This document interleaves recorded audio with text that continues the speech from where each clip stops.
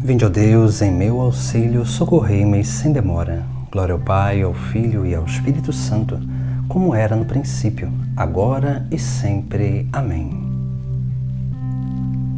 Na mesma hora em que Jesus, o Cristo, sofreu a sede sobre a cruz pregado, conceda a sede de justiça e graça a quem celebra o seu louvor sagrado.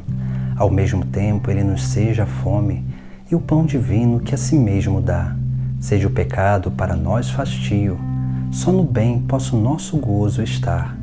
A unção viva do Divino Espírito impregne a mente dos que cantam salmos. Toda a frieza do seu peito afaste, no coração ponha desejos calmos. Ao Pai e ao Cristo suplicamos graça, com seu Espírito eterno bem. Trindade Santa, protegei o orante, guardai o povo em caridade. Amém. Por minha vida, diz o Senhor, não quero a morte do pecador, mas que ele volte e tenha vida. Que o meu grito, ó Senhor, chegue até vós, fazei-me sábio como vós o prometestes. Que minha prece chegue até a vossa face, conforme prometestes, libertai-me. Que prorrompam os meus lábios em canções, pois me fizestes conhecer vossa vontade. Que minha língua cante alegre a vossa lei, porque justos são os vossos mandamentos. Estendei a vossa mão para ajudar-me, pois escolhi sempre seguir vossos preceitos.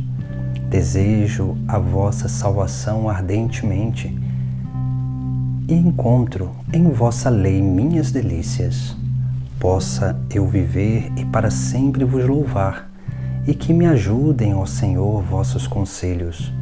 Se eu me perder como uma ovelha, procurai-me, porque nunca esqueci vossos preceitos. Glória ao Pai, ao Filho e ao Espírito Santo, como era no princípio, agora e sempre. Amém.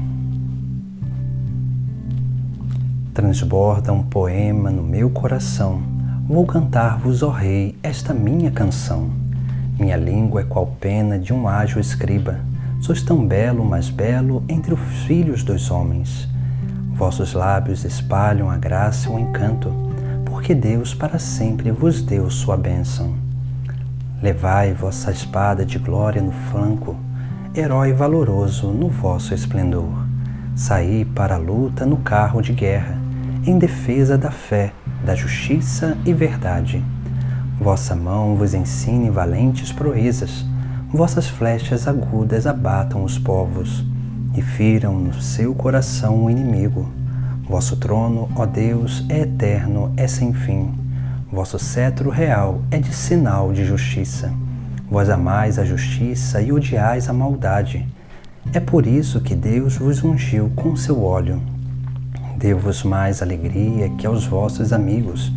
Vossas vestes exalam preciosos perfumes. De búrnios, palácios, os sons vos deleitam. As filhas de reis vêm ao vosso encontro. E à vossa direita se encontra a rainha, com veste esplendente de ouro de Ofir. Glória ao Pai, ao Filho e ao Espírito Santo, como era no princípio, agora e sempre. Amém. Escutai, minha filha, olhai, ouvi isto.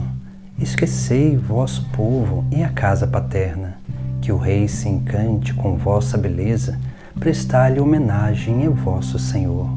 O povo de Tiro vos traz seus presentes, os grandes do povo vos pedem favores. Majestosa princesa real vem chegando, vestida de ricos brocados de ouro. Em vestes vistosas ao rei se dirige, e as virgens amigas lhe formam cortejo. Entre cantos de festas e com grande alegria, ingressam então no palácio real. Deixareis vossos pais, mas tereis muitos filhos, farei deles os reis soberanos da terra. Cantarei vosso nome de idade em idade, para sempre haverão de louvar-vos os povos. Glória ao Pai, ao Filho e ao Espírito Santo como era no princípio, agora e sempre. Amém. Por minha vida, diz o Senhor, não quero a morte do pecador, mas que ele volte e tenha vida. Leitura breve. Lembra-te de que tu és meu servo, eu te criei, és meu servo Israel. Não me decepciones. Desmanchei como uma nuvem teus pecados, como a névoa desfiz tuas culpas. Volta para mim, porque te resgatei.